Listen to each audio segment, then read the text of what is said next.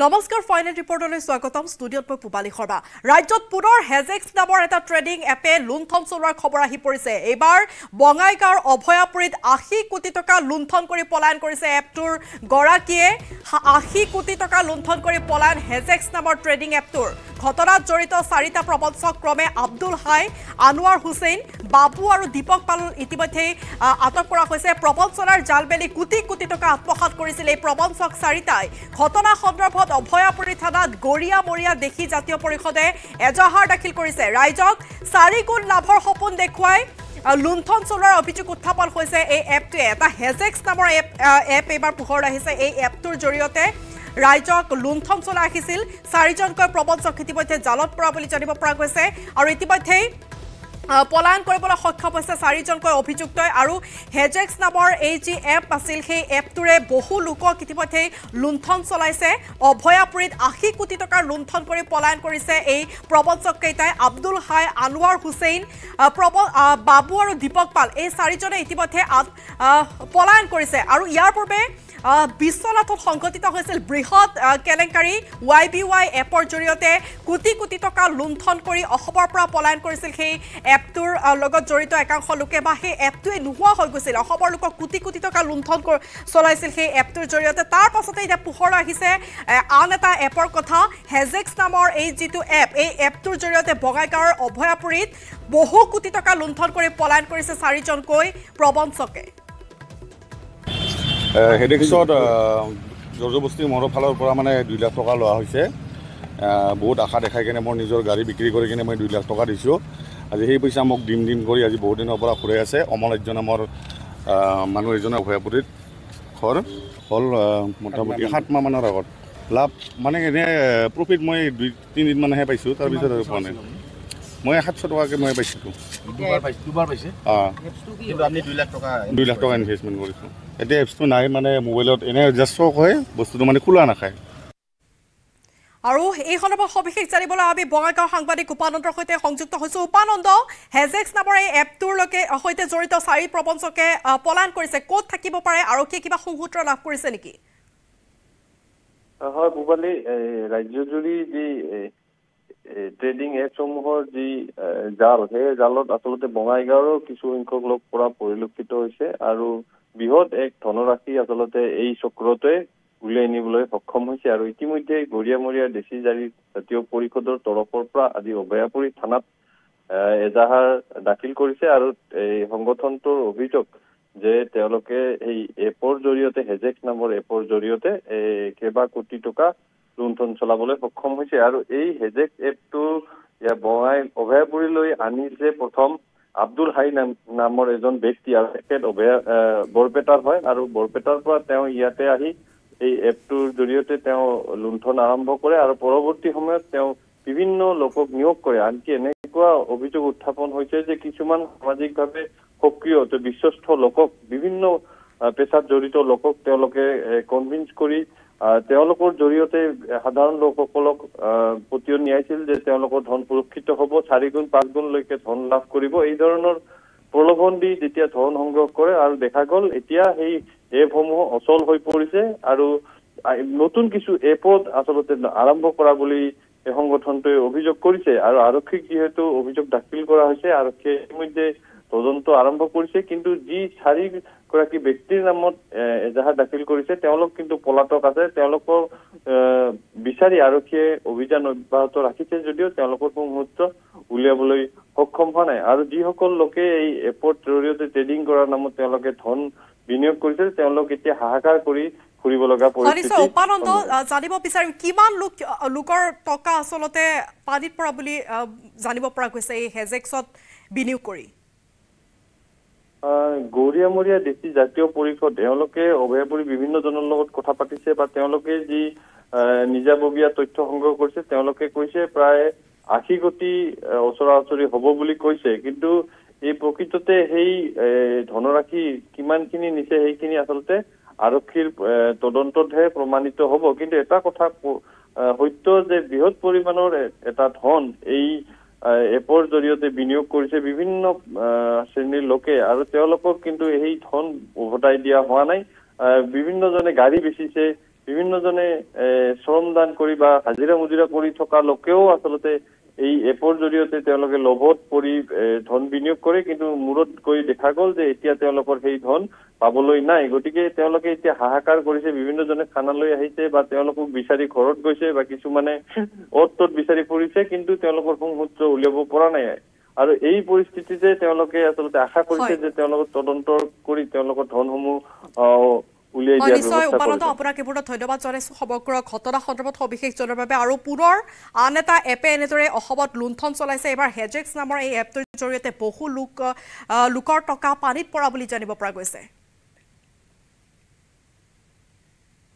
গুৱাহাটীৰ বুন্দাত চাঞ্চলকৰ ঘটনা। প্ৰেমিকাক চোকা অস্ত্ৰৰে আক্ৰমণ কৰিলে প্ৰেমিকে। কেশৱ বৰ্মন নামৰ এজন যুৱকৰ বিৰুদ্ধে উত্থাপন হৈছে প্ৰেমিকাক হত্যাৰ চেষ্টা চলোৱাৰ অভিযোগ। প্ৰেমিকাক আক্ৰমণৰ পাছতে আত্মসমৰ্পণ কৰিছে কেশৱ বৰ্মন নামৰ যুৱকজনে। পানী খাইটি আৰক্ষী চকীত আত্মসমৰ্পণ কৰিছে যুৱকজনে আৰু প্ৰেমিকাক খুকুৰিৰে ঘপিয়াই বাসগৃহত পেলাই থৈ যায় কেশৱে।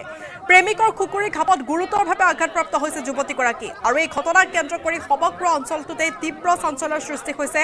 ঘৰত কোনো নথকাৰ সুযোগত প্ৰেমিকাৰ ঘৰলৈ গৈছিল কেশৱ আৰু খুকুৰিৰে যধে মধে আক্ৰমণ কৰিছিল প্ৰেমিকাক।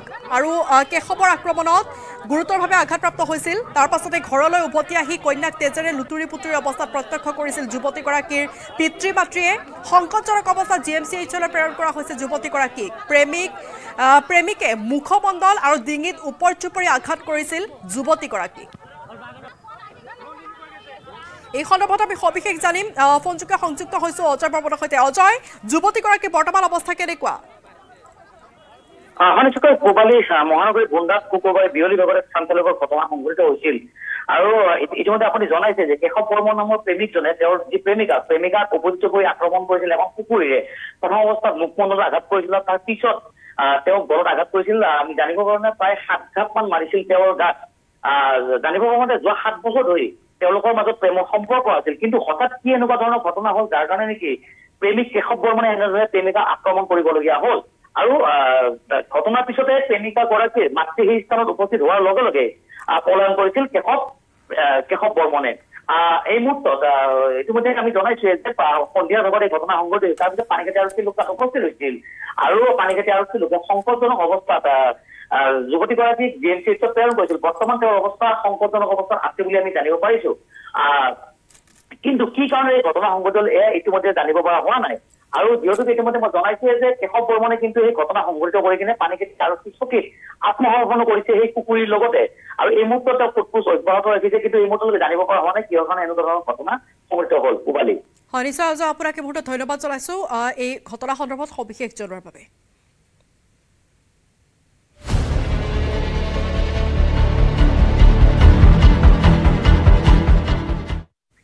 ৰাজ্য কপোৱা ধিংকাণ্ডৰ পলাতক দুই অভিযুক্তৰ আত্মসমৰ্পণ। দলবদ্ধ ধৰ্ষণৰ পোন্ধৰ দিন পাছত নগাঁও আৰক্ষী অধীক্ষকৰ কাৰ্যালয়ত আত্মসমৰ্পণ কৰিছে দুই অভিযুক্ত গোলাপ হুছেইন আৰু ফৰিদুল ইছলামে।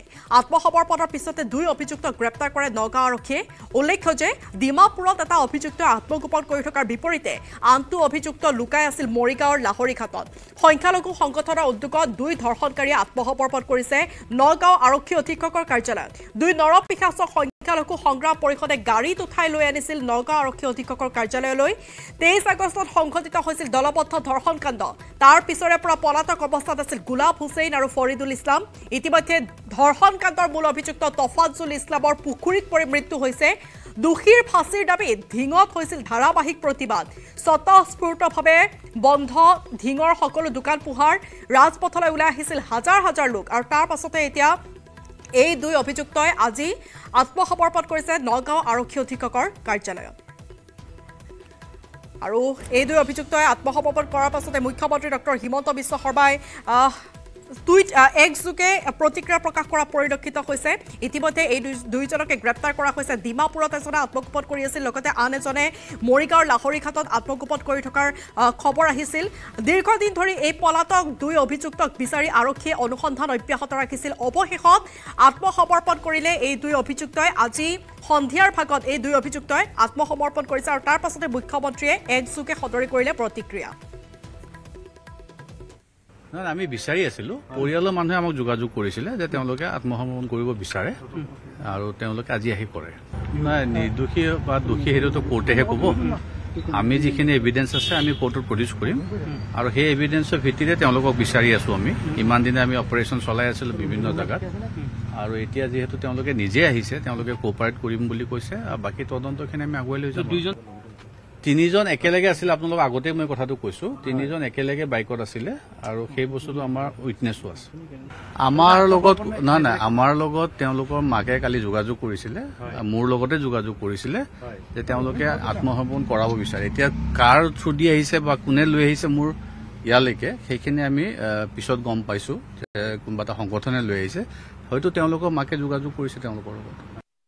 যেতিয়া ডিঙৰ এনেকুৱা নাৰুকা এটা ঘটনা সংঘটিত হৈছে তৎক্ষণাৎভাৱে আৰক্ষীয়ে তাফাজ্জলক গ্ৰেপ্তাৰ কৰি আইনী প্ৰক্ৰিয়াৰে হয়তো তাফাজ্জল কি কাৰণত মৃত্যু হৈছে আমি নাজানো। কিন্তু বাকী দুজন আসামী বা যেতিয়া পলাই আছিলে তেওঁলোকে হয়তো পুলিচৰ ভয়ত পলাই আছিলে। আমি সংগ্ৰাম পৰিষদে আপ্ৰাণ চেষ্টা কৰি পুলিচৰ লগত যোগাযোগ কৰি আমি যোৱাকালি নাগালেণ্ডৰ পৰা দুজন মানুহ আমি ধৰি পেলাই আমি আমি আৰক্ষীক সমজাই দিছো।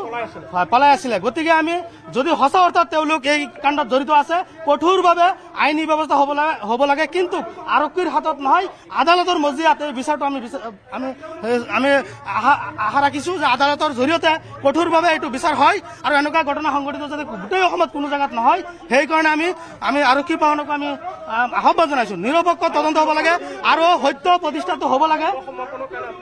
হয় আত্মসমৰ্পণ তেওঁলোকৰ পৰিয়ালৰ লগত আলাপ আলোচনা কৰি আমি আৰক্ষী বাহনৰ লগত আলাপ আলোচনা কৰি আজি আমি আত্মসমৰ্পণ কৰাই দিছো।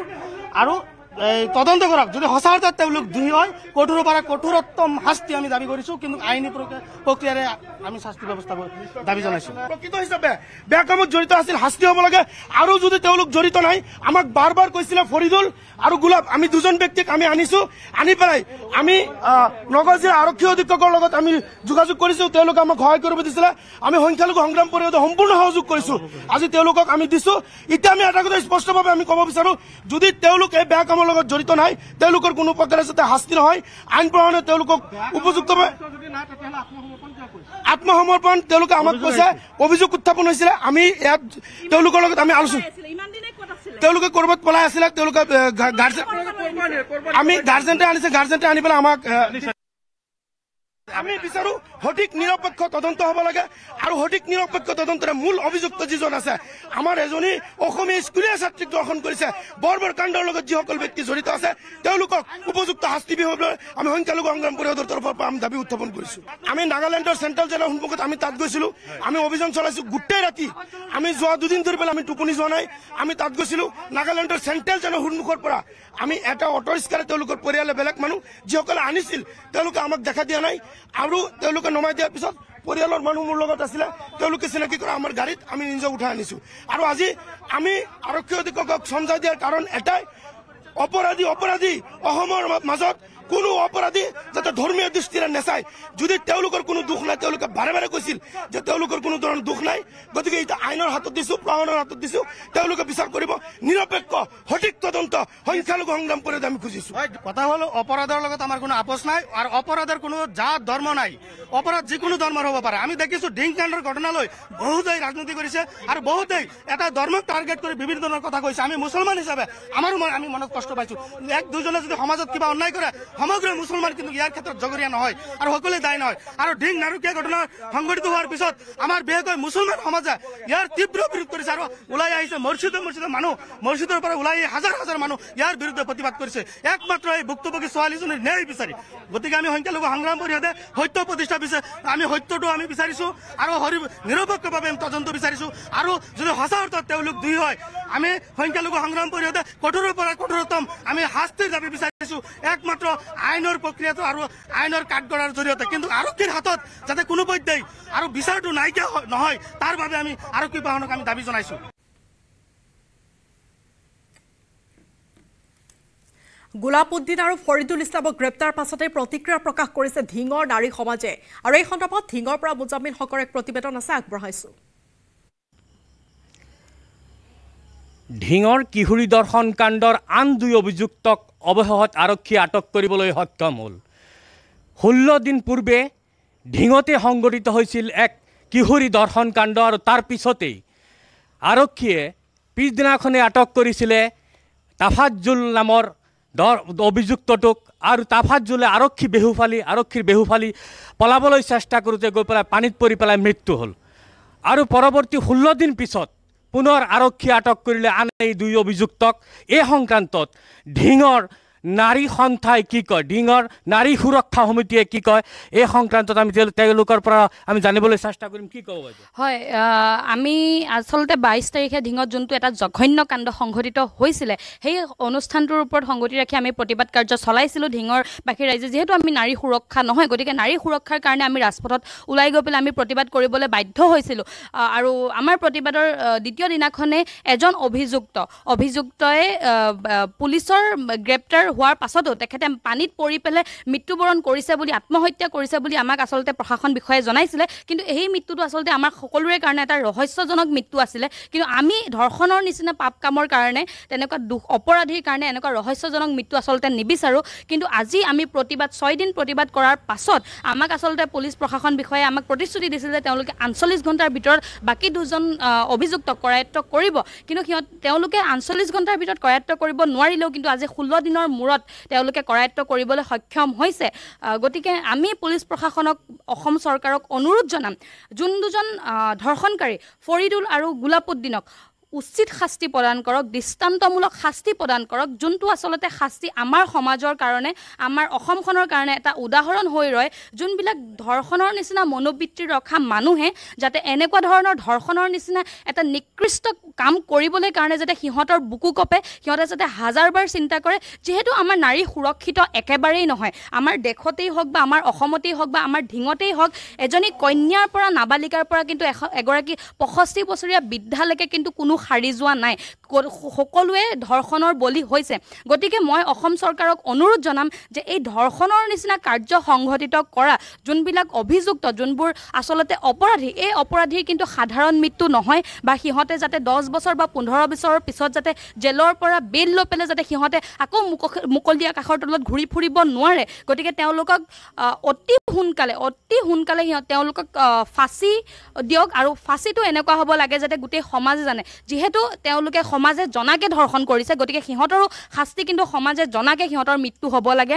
মই পুলিচ প্ৰশাসন বিষয়ক সেইটোৱে অনুৰোধ কৰিম। আৰু তেওঁলোকক অনুৰোধ জনাইছোঁ আমাৰ যিহেতু নাৰী সুৰক্ষিত নহয় গতিকে অসমত নাৰী সুৰক্ষা আইনখন বলবৎ কৰক অতি সোনকালে বলবৎ কৰক। নাৰী যদি সুৰক্ষিত নহয় নাৰীৰ যদি অস্তিত্ব সংকটত পৰে নাৰীৰ যদি অস্তিত্ব ধ্বংস হয় তেতিয়াহ'লে কিন্তু আমাৰ সমাজখন ধ্বংস হ'ব আমাৰ পৃথিৱীখন ধ্বংস হ'ব আমাৰ ৰাজ্যখন ধ্বংস হ'ব। য'ত দেৱীক পূজা কৰা হয় তাত দেৱী কিন্তু ধৰ্ষিতা হৈ আছে। স্বপ্ননীল দাসক তিনিদিনৰ আৰক্ষীৰ জিম্মালৈ প্ৰেৰণ কৰা হৈছে। পূৰ্বতে দুদিনৰ বাবে আৰক্ষীৰ জিম্মাত দিছিল স্বপ্ননীল দাসক। আজি পুনৰ আদালতত হাজিৰ কৰোৱা হৈছিল স্বপ্ননীলক আৰু আৰক্ষীয়ে পাঁচদিনৰ জিম্মাত বিচাৰি আবেদন কৰিছিল। ট্ৰেডিঙৰ গোচৰত অভিযুক্ত হৈ আছে স্বপ্ননীল দাস আৰু স্বপ্ননীল দাসক আজি পুনৰ আদালতত হাজিৰ কৰোৱা হৈছিল। তাৰ পাছতেই আৰক্ষীৰ জিম্মালৈ পুনৰবাৰ তিনিদিনৰ আৰক্ষীৰ জিম্মালৈ প্ৰেৰণ কৰা হৈছে স্বপ্ননীল দাসক। আৰক্ষীয়ে ইতিমধ্যে পাঁচদিনৰ জিম্মাত বিচাৰি আবেদন জনাইছিল যদিও তিনিদিনৰ সেই জিম্মা প্ৰদান কৰা হৈছে স্বপ্ননীল দাসক। ইতিমধ্যে দিছপুৰ থানাত কাৰাবন্দী দিছপুৰ থানাৰ থানাত ৰুজু হোৱা গোচৰৰ ভিত্তিত স্বপ্নলীল দাসক গ্ৰেপ্তাৰ কৰা হৈছে। স্বপ্নলীল দাসক লৈ বহুখিনি অভিযোগ উত্থাপন হৈছে আৰু সেই অভিযোগসমূহ তেওঁৰ ছাত্ৰসকলে খণ্ডন কৰিছে যদিও বহুখিনি তথ্য পোহৰলৈ আহিছে। আহ, যিহেতুকে প্ৰতীক থুবে এই সমগ্ৰ ঘটনাৰ তদন্ত চলাই আছে। প্ৰতীক থুবেৰ তদন্তত বহুখিনি স্বপ্নলীলৰ ক'লা অধ্যায় পোহৰলৈ অহা বুলি জানিব পৰা গৈছে। আৰু পূৰ্বতে দুদিনৰ জিম্মাত আহ, দিয়া হৈছিল স্বপ্নলীল দাসক কিন্তু এইবাৰ পুনৰ তিনিদিনৰ জিম্মা প্ৰদান কৰা হৈছে স্বপ্নলীল দাসক। সবিশেষ জানিম প্ৰিয়ব্ৰতৰ পৰা। প্ৰিয়ব্ৰত পুনৰ তিনিদিনৰ জিম্মাত দিয়া হৈছে স্বপ্নলীলক। কি আছে আৰু সবিশেষ? হয় পূবালী চাওক যেতিয়া আচলতে স্বপ্নলীল দাসক গ্ৰেপ্তাৰ কৰা হৈছিল বা আটক কৰা হৈছিল হাতীগাঁৱৰ সেই বিশেষ ফ্লেটটোৰ পৰা তেওঁলোকৰ আৰু তাৰ পাছতে আৰক্ষীয়ে কেইবাদিনৰ জিম্মাত বিচাৰিছিল আৰু কিন্তু তাৰ পাছত দেখিবলৈ পোৱা গৈছিল যে আদালতে তেওঁলোকক দিছপুৰ আৰক্ষী বিশেষকৈ যদি ক'বলৈ যোৱা হয় তেন্তে তেওঁলোকক জিম্মাত দিয়া নাছিল কেৱল মাত্ৰ দুদিনৰ বাবে জিম্মাত দিয়া দেখিবলৈ পোৱা গৈছিল আৰু তাৰ পাছতে মাৰথান জেৰা অব্যাহত আছিল তেওঁৰ আহ, স্বৰ্ণলীল দাসৰ বিৰুদ্ধে। এ চি পিয়ে হওক বা জইণ্ট চি পিয়ে হওক আহি মাৰথান জেৰা চলোৱা দেখিবলৈ পোৱা গৈছিল। তাৰ পাছতে আজিৰ দিনটোত দুদিনৰ যেতিয়া জিম্মা শেষ হৈছে আজিৰ দিনটোত চি জি এম আদালতত হাজিৰ কৰা দেখিবলৈ পোৱা গৈছিল আৰু তাৰ পাছতে পুনৰ পাঁচ দিনৰ জিম্মা বিচৰা দেখিবলৈ পোৱা গৈছিল আৰু কিন্তু আদালতে বৰ্তমান সময়ত কেৱল মাত্ৰ তিনিদিনৰ জিম্মা পুনৰ দিয়া দেখিবলৈ পোৱা গৈছে আৰু বিগত দুদিনত দেখিবলৈ পোৱা গৈছে মাৰথান জেৰাৰ ক্ষেত্ৰত যিখিনি তথ্য সংগ্ৰহ কৰিছে আৰক্ষীয়ে। আৰু পুনৰ পৰৱৰ্তী দুই দিনত আৰু অধিক তথ্য সংগ্ৰহ কৰি আচলতে কেনেধৰণে আচলতে গোটেই দিশটো আগুৱাই নিব বা স্বপ্ন- স্বপ্নলীল দাসৰ বিৰুদ্ধে যিসমূহ অভিযোগ আছে বৰ্তমান সময়ত গোটেই অভিযোগখিনি কেনেধৰণে তেওঁলোকে পৰ্যবেক্ষণ কৰিব গোটেই কথাখিনি আচলতে তেওঁলোকে ভাবি চাব বুলি ভবা হৈছে। আৰু বিশেষকৈ যদি ভবা হয় তেন্তে আহ, বৃহৎ বৃহৎ আচলতে কেলেংকাৰীৰ যি অভিযোগ বৰ্তমানত আহি পৰিছে চৌবিশ লাখ টকাৰ যি প্ৰবঞ্চনাৰ অভিযোগ ইতিমধ্যে আহি পৰিছে। আৰু কিন্তু তাৰ সমান্তৰালকৈ যদি চাবলৈ যোৱা হয় যিজন অভিযোগকাৰী আছিল কেৱল মাত্ৰ এখন অভিযোগ পত্ৰ আছিল বা তেওঁৰ এফ আই আৰ আছিল সেইখন বৰ্তমান সময়ত উঠা- উঠাই লোৱা দেখিবলৈ পোৱা গৈছে গতিকে অহা আহিবলগীয়া তিনিদিন আৰক্ষীয়ে কেনেধৰণে তেওঁক জেৰা চলাব বা কেনেধৰণৰ অভিযোগসমূহৰ ভিত্তিত তেওঁক জেৰা কৰিব কেনেধৰণৰ তথ্য আহৰণ কৰিব আৰু ইতিমধ্যে দেখিবলৈ পোৱা গৈছে যে বহিৰ দেশত এ, কেইবাখনো বিদেশত কেইবাখনো তেওঁলোকৰ তেওঁৰ বেংক একাউণ্টৰ ইতিমধ্যে দেখিবলৈ পোৱা গৈছে তথ্য। লগতে যিসমূহ আচলতে তেওঁলোকৰ সম্পত্তি আছে বহিৰ দেশত বহু বিদেশত কেইবাখনো বহুতো সম্পত্তিৰ তথ্য পোৱা গৈছে। গতিকে অহা আহিব লগা তিনিদিনত কেনেধৰণৰ তথ্য সংগ্ৰহ কৰিব আৰু কেনেধৰণে আগুৱাই নিব গোটেই ঘটনাটো, গোটেই আপোনাক আহ, ধন্যবাদ তদন্ত- জনাইছো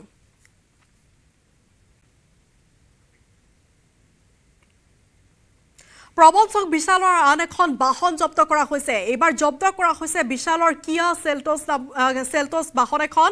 বিশালৰ আন বিলাসী সামগ্ৰী জব্দ কৰাৰ সম্ভাৱনা আছে অতি শীঘ্ৰে। আৰু এতিয়ালৈকে মুঠ চাৰিখন গাড়ী জব্দ কৰিছে ডিব্ৰুগড় আৰক্ষীয়ে।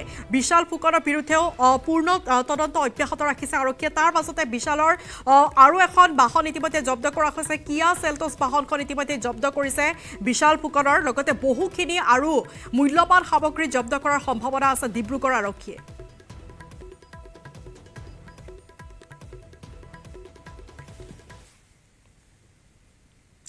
অসমৰ চুকে কোণে সকলোৰে মুখত এতিয়া চুমিৰ প্ৰসংগ। চুমিহঁতৰ মূৰত কাৰ এনে ইমান শক্তিশালী আশীৰ্বাদ আছে যাৰ বাবে পাঁচদিনেও আৰক্ষীয়ে সন্ধান নাপালে পলাতক স্বামী স্ত্ৰীৰ। ৰাজনৈতিক হেঁচা আৰু আৰক্ষীৰ সহযোগতে ইতিমধ্যে গুৱাহাটীৰ পৰা নিৰাপদে ওলাইও গ'ল পলাতক চুমি আৰু তাৰ্কিক।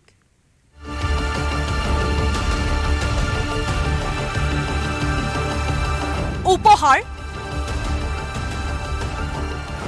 আপ্যায়ন। মুনাফা। চুমিহঁতৰ কত যে নলে গলে লগা দাদা বৌ বন্ধু অথবা বা। ট্ৰেডিং কাহিনীৰ গৰম বতাহত এতিয়া ডুবিছে চৌপাশ। সৌ সিদিনালৈ নিজৰ ছচিয়েল মিডিয়াৰ পেজখন শুৱনি কৰি ৰাখিবলৈ ইহঁতহালে ক'ত কি কৰা নাছিল? পিছে বায়েক আৰু বনাই লোৱা আদৰৰ ভাইটিয়ে চৌদিশে লগাই দিলে খলকনি। হাজাৰ কোটি টকীয়া কেলেংকাৰীৰ তদন্তত ডিব্ৰুগড় আৰক্ষীৰ জালত ফচি গ'ল বিশাল ভাইটি। ইফালে বিগত পাঁচদিনে খবৰ নাই পলাতক মৰমৰ চুমি বাইটিৰ।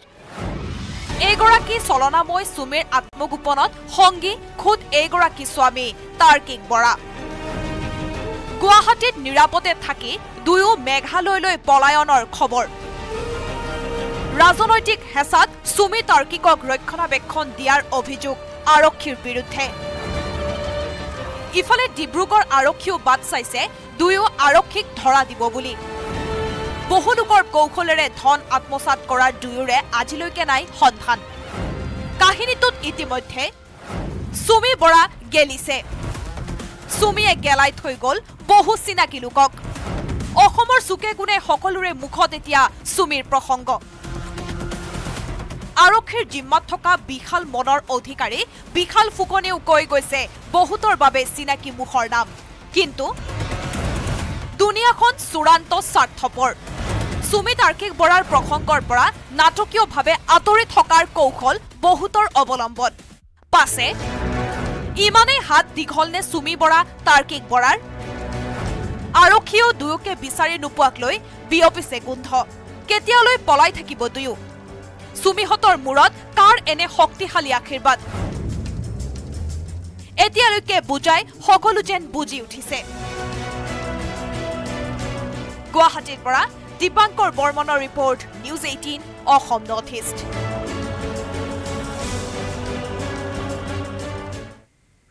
এইখিনিতে পুনৰ সময় হৈছে চমু বিৰতিৰ।